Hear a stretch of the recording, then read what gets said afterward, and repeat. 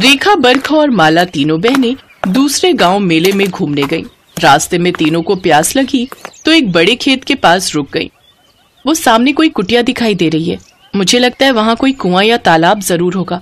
चलो चलकर देखते हैं। तीनों बहनें उस खेत में जाती हैं। वहाँ पर एक कुआँ था। तीनों जैसे ही पानी पीने लगती हैं अचानक उन्हें किसी के कराहने की आवाज़ आती है। मुझे थोड़ा पानी पिला दो। मैं कुएँ से पानी नहीं खींच सकती क्योंकि मैं गर्भवती हूँ। मेरे पति भोजन की तलाश में गए हैं। उन्हें आने में बहुत देर हो गई।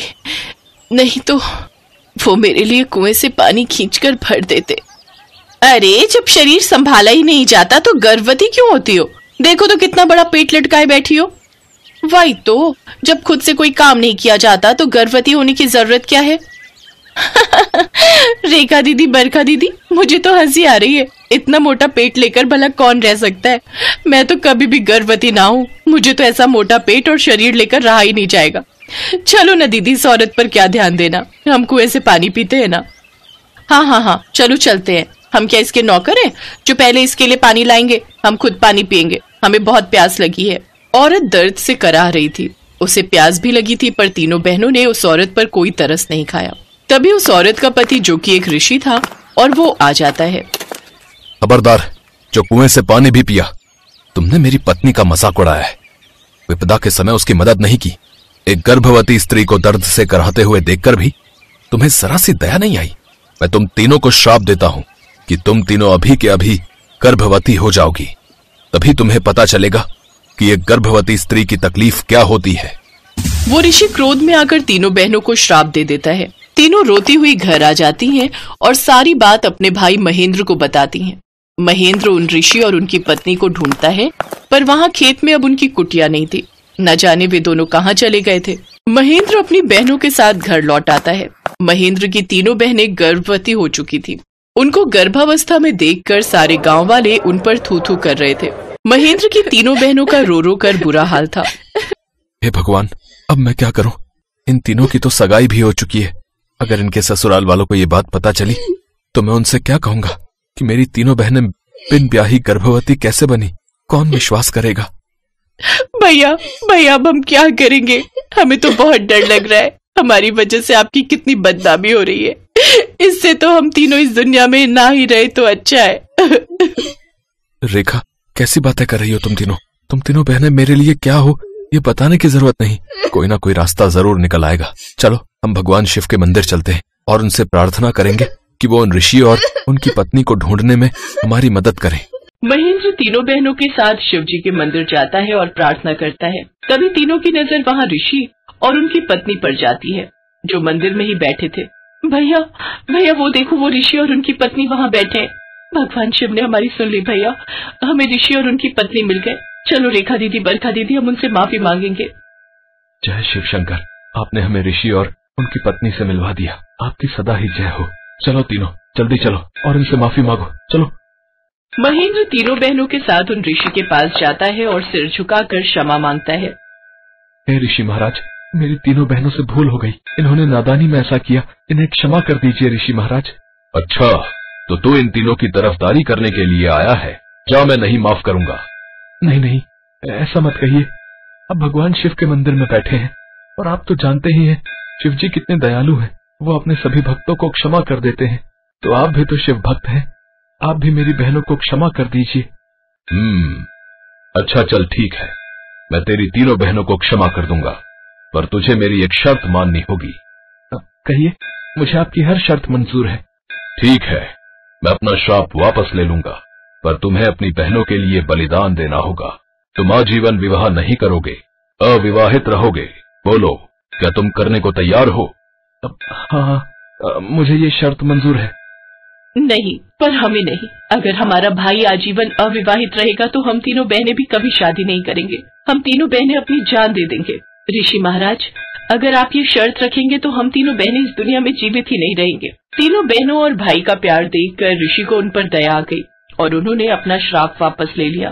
परंतु याद रहे, आज के बाद कभी भी किसी संकट में पड़े असहाय व्यक्ति का मज़ाक मत उड़ाना। महेंद्र की तीनों बहनें वादा करती हैं कि वो ऐसा कभी नहीं करेंगे। तीनों फिर से पहले वाली अवस्था में आ जाती हैं और महेंद्र अपनी बहनों को लेकर खुशी खुशी घर लौट आता है। सदियों पहले की बात है। उदयपुर शहर में एक खूबसूरत महल था, जहाँ के राजा और रानी बड़े ही दयालु और निर्बल स्वभाव के थे। रानी ने सात पुत्रों को जन्म दिया था, लेकिन उनकी बहुत इच्छा थी कि एक कन्या उनके घर में जन्म ले। लेकिन उनकी ये इच्छा पूरी नहीं हुई। राजा हमेशा से ही एक पुत्री की चाह में था।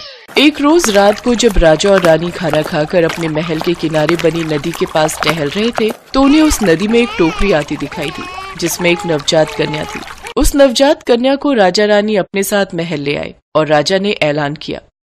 आज से ये कन्या हमारी पुत्री है। हम इसे अपनी बेटी की तरह पालेंगे। परंपरा के अनुसार घर में छोटे शिशु का भविष्य जानने के लिए कुल पुरोहित को बुलाया गया। उस कन्या को देख पुरोहित ने कहा बड़े ही खेत के साथ कहना पड़ रहा है महाराज कि इस कन्या के कदम आपके राज्य के लिए शुभ नहीं है। आप कहना क्या चाहते हैं पुरोहित जी?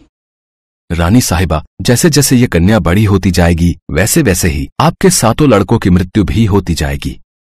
ये तुम कैसी बातें कर रहे हो पुरोहित? एक छोटी सी कन्या के बारे में तुम ऐसे कैसे कह सकते हो? सिपाहियों, इस पुरोहित को महल से बाहर निकाल दो।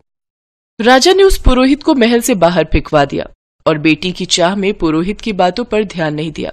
लेकिन जैसे ही वो लड़की साल भर की हुई तो उसके जन्मदिन वाले दिन ही राजा के सबसे बड़े बेटे की मृत्यु हो गई। तब राजा को उस पुरोहित की बात याद आई। उसने तुरंत ही उस पुरोहित को बुलाने भेजा लेकिन सेनापति एक दुखद समाचार लेकर महल में पहुँचा। महाराज दस दिन पहले ही उस पुरोहित की मृत्यु हो गई लेकिन सुना है उसका भाई घनश्याम दूसरे राज्य के महल में पुरोहित है। आपकी आज्ञा हो तो मैं उसे बुला लाऊं। उन्हें शीघ्र ही यहाँ लेकर हाजिर हो। घनश्याम पुरोहित सेनापति के साथ उस महल में पहुँचा। मेरे भाई की भविष्यवाणी बिल्कुल सही है। अब हमें इस बात का यकीन हो गया है, लेकिन इसका उपाय क्या है? अगर आपकी इस कन्या को आग के घेरे में बड़ा किया जाए तो आपके बेटों को इसका कोई नुकसान नहीं होगा। लेकिन इस बात का खास ध्यान रहे कि वो आग बुझनी नहीं चाहिए। पंडित के कहे अनुसार वैसा ही हुआ। उस कन्या को एक घर के अंदर रखा गया, जिसके बाहर आग का घेरा बना दिया गया। कुछ साल ऐसे ही बीत गए। अब सातों लड़कों में बचे छह लड़के भी बड़े हो गए, और राजा रानी बूढ़े होने के कारण दुनिया से चल बसे। उन छह भाइयों में से सबसे बड़े भाई ने राजगद्दी संभाल ली। अब वक्त आ गया है कि हम अपनी बहन को उस आग के घेरे से छुटकारा दें और उसका विवाह करके उसे खुशहाल ज़िंदगी जीने दें। बिल्कुल सही कहा भाई आपने। चलो चलो अभी अपनी बहन के पास चलते हैं और उसे ये खुशखबरी देते हैं। सभी भाई अपनी बहन के पास पहुँचे। बहन अब वक्त आ गया है कि तुम इस चार दीवारी से आज़ाद हो जाओ। तभी उनकी बहन अंजना उनसे बोली हाँ भैया मैं भी दुनिया देखना चाहती हूँ। आखिर कब तक मैं इस आग के घेरे में जलती रहूँगी? अंजना को बाहर निकाला गया। उसने पहली बार नदियाँ पहाड़ पेड़ पौधे फूल तितलियाँ देखी। वो बहुत खुश थी। तभी उसकी नज़र बगुले पर पड़ी। अरे वाह ये तो बहुत ही खूबसूरत पक्षी है। भैया इस पक्षी का नाम क्या है? बहन इस पक्षी का नाम बगुला है। भैया मुझे बगुलों के राजकुमार से ही शादी करनी है। लेकिन बहन हम उन्हें कहाँ ढूंढेंगे? वो मैं नहीं जानती। अगर मेरी बगुलों के राजकुमार से शादी नहीं हुई तो मैं किसी से शादी नहीं करूँगी। सभी भाई उसकी बात मान लेते हैं। दो भाई राज्य संभालने के लिए महल में ही रुके, जबकि बाकी के चार बगुलों के राजकुमार को ढूँढने जंगल की ओर निकल गए। लेकिन कई दिनों तक भटकने के बाद भी उन्हें राजकुमार कहीं नहीं मिला। तभी उनमें से एक भाई ने कहा, भैया, हमने हर तरफ़ देखा, लेकिन राजकुमार हमें कहीं नहीं मिला। और अब तो हमारा खाना भी खत्म हो चुका है। हाँ भाई, मैं तो कहता हूँ अब वापस महल चलो नहीं तो ऐसा ना हो कि भूख के कारण हमारे प्राण ही निकल जाएँ। नहीं नहीं अंजना की बात को हम नहीं टाल सकते। अब जब तक हमें बगलों का राजकुमार नहीं मिल जाता हम वापस नहीं जाएँगे। तभी वहाँ से एक तपस्वी गुजर रहा था जिसे देख उन भाइयों ने उस तपस्वी से पूछा। प्रणाम महाराज क्या आप बगलों के राजकुमार का पता जानते हैं?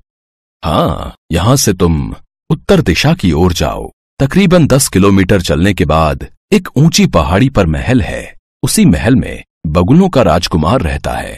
सभी भाई उत्तर दिशा की ओर चल दिए दस किलोमीटर चलने के बाद वो एक ऐसी जगह पहुँचे जहाँ सफ़ेद महल सफ़ेद घर सफ़ेद मिठाइयाँ और यहाँ तक कि सबकी पोशाक भी सफ़ेद रंग की थी। चारों भाई महल के अंदर गए और बगुलों के राजकुमार से मिले और उन्हें अपनी समस्या बताई। राजकुमार जी आप हमारी बहन से शादी कर लीजिए। वो जिद पकड़ कर बैठी है कि वो सिर्फ़ बगुलों के राजकुमार से ही शादी करेगी नहीं तो उम्र भर कुंवारी रहेगी। मैं तुम सब भाइयों की पीड़ा समझ सकता हूँ, लेकिन मैं किसी भी लड़की से शादी नहीं कर सकता।